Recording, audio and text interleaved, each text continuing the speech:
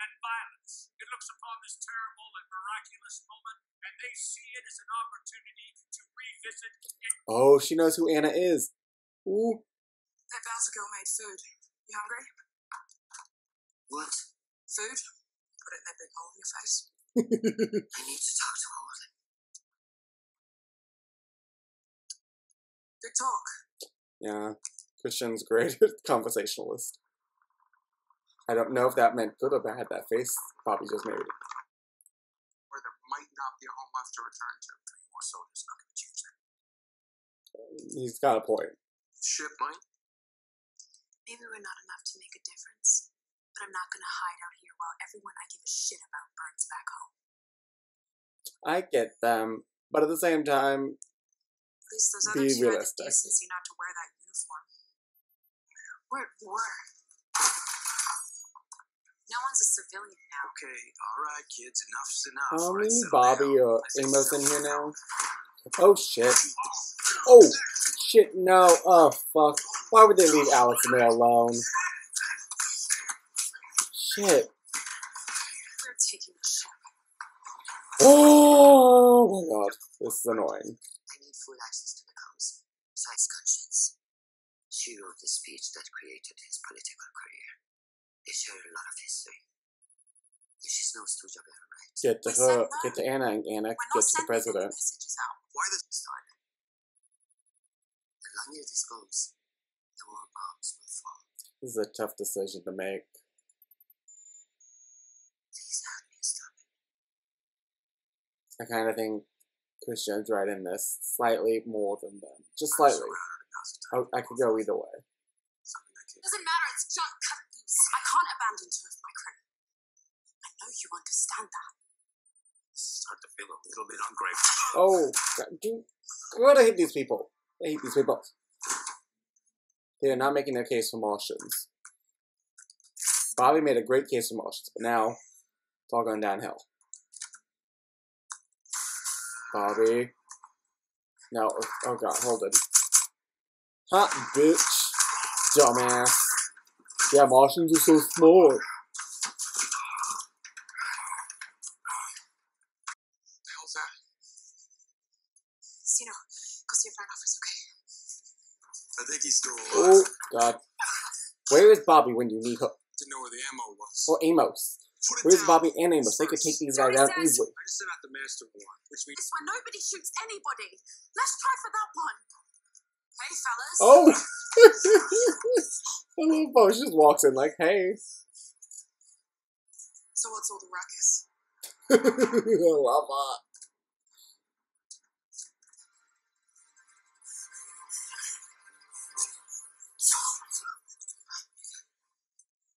Amos, just walking in.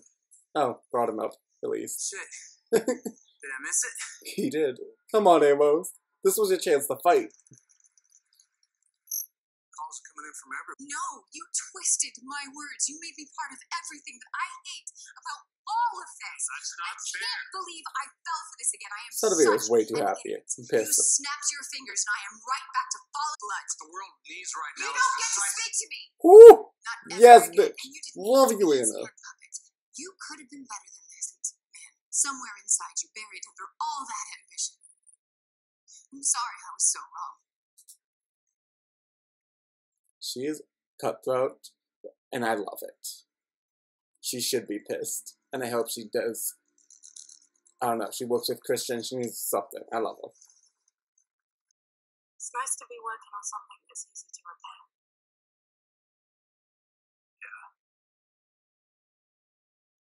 Some things don't get fixed.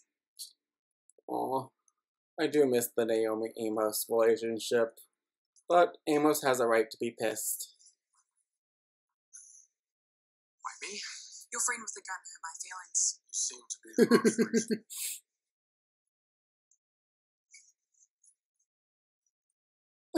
the way she walks in. Yes, Uh, the UN Deputy Undersecretary.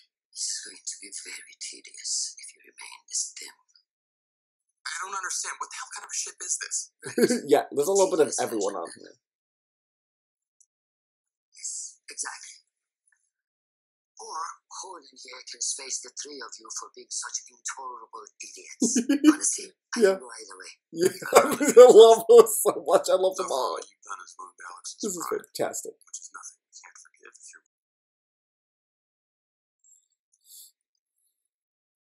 Oh, she's about to get the message. Yep, she's not leaving anytime soon. Time is short and I'll be brief. Over Ganymede. And I gave the order. And I can give the same order to end your life. Oh, Anna's getting in the game now. You just can't help yourself, can you?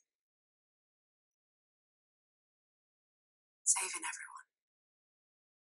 He has the hero complex. It's 100% true. He's not looking so great right now, though. Dr. Strickland. I'm sorry. I feel so weird. My Oh, God. Oh no, his skin's ripping apart. Here to repurpose disassembly of its useful pathways. Oh, oh, oh, oh my god. What? Connected. What? In the holy talking to the rest of the molecule infestations. You are right to continue. No. He's the key to everything. Ew, no. There should be no continuing after seeing that. You see that and that makes you want to continue? Mal! What the fuck? Like, what? Oh my god. This was such a good episode. Another good episode. I swear, the show just keeps getting good episodes. There was no space battle this episode, but there was still a lot that happened. So I'm just gonna go right into my notes. So this episode, we do get a little bit of drama, which I mean, oh wait, oh, what am I talking about? I gotta do my ranking storyline rankings. So I'm gonna put number three easily. Mm, oh no, ooh I don't know. Yeah, number three, I'm gonna put Jules Pierre Mao. His story is that ending almost puts him to number two, so close. But number two, I will put the people on Earth, the president, Anna, um, Sadavir, all that. And then number one, the um, oh lord, co co. Oh my, I forgot the name of that ship. I hate it so badly that I've just been forgetting about it. I blocked it out. I wrote it down in my old notes. Let me look. No. That's no. Nancy Drew, Hannibal, uh, Expanse. Um, Contorta. Yeah, hate that name by the way. Still hate it. Don't like it. They need a new name. Contorta. Ugh. Okay, but uh, so, but I am gonna do honorable mention to Drummer in the Nauvoo. Uh, I'm loving that we got to see some more of that. That was really cool to see the Nauvoo. I didn't think we were gonna see it again, but it makes sense. It's such a big ship that it could be used for a lot of things. People to live on, for as a weapon, and the Belters could use that. I don't know what they're gonna use it for, and it's a little scary, but they could use it. And I just love seeing anything we get to see drum, drama. I love drama. And my what something good. Mm, I don't know. I'll get it later. Alright, um, yeah, I love drama. So the more we see the better. Okay, so let's go with Jules Pierre Mao. So basically, he's shutting down the project. He's shutting it all down, Caliban, and the problem is, um, the doctor guy whose name I cannot remember at the moment, Strickland, Strickland, Doctor Strickland. He is still experimenting on with Katoa, who's I don't know what the fuck is going on. It's like the protocol is officially kind of taken over. We get besides Katoa popping out every every, every once in a while, Katoa kind of pops out, but it's mostly like protomolecule is taking over. And obviously, Jules Mao did not know about the stuff going on with Strickland and Katoa, but he found out at the end. And I guess the experience, Caliban's continuing, of course. like really, so close to shutting it down, and Jules came out and said, continues to do it because he sees Katoa playing with some dead bodies that he's killed. Or body. I don't know if it was one or two. It kind of looked like two, but it could have just been body split in half. But that's fucking creepy. I don't know what they meant by like it's talking to the others. Like what what is it doing there? I don't get what that whole display of the body and everything it was doing was. I don't I don't know what that was. Fucking creepy and weird, but I don't know what it is. Not at all. Alright, so let's move on to the president and Earth and Anna and all that fun. So this episode was began kind of with them with the president's speech, who was written by which was written by Anna originally, until fucking Sadavir changed it, the ending, and kind of made it from a speech that's supposed to see, like hope and peace to a speech about uh, basically rallying the troops, war cry, let's kill them all. They need to be taught a lesson. So stupid. Just get people more angry. That's gonna help. But um, that basically causes this huge rift between Anna, the president. Anna's pissed. She's going to leave the side. She's about to leave, and Sadavir is thrilled. Sadavir has done what he's wanted to do. He's manipulating the president so easily. But luckily, we do have lovely Chrisjen who got that message out in the perfect timing to Anna with the video that proves what Sadavir has done. I don't know how Anna's going to use this, but she's smart. I have a feeling she'll know what to do. She'll find the right way and time to show the president to get the president out of Sadavir's sight and get rid of Sadavir. My problem is I'm scared for Anna because I feel like she might die.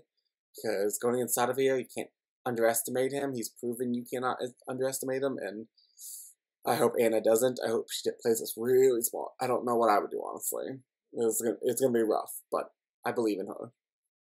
Okay, and we come to the final storyline of the episode, which was the Contorta crew, which and they stumble upon a junkyard of Martian ships from basically the war that is the battles that have happened, and they go into this one Martian ship. Alex is a little iffy about it because he doesn't want to go rifle through dead bodies, but it's necessary. It's same with Bobbie. She was not thrilled with it, but I think they both understood that it's kind of it's necessary.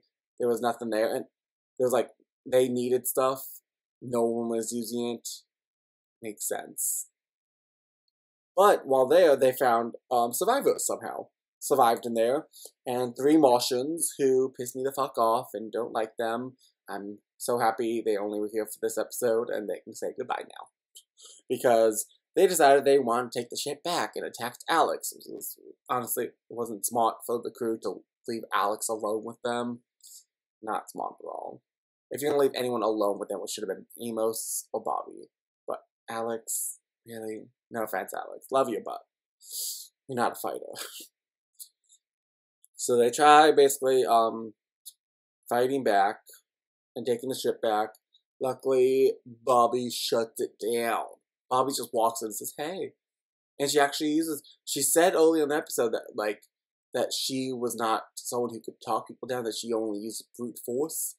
She's proven herself wrong. She talked her down. She, if anyone, could relate to the Martians.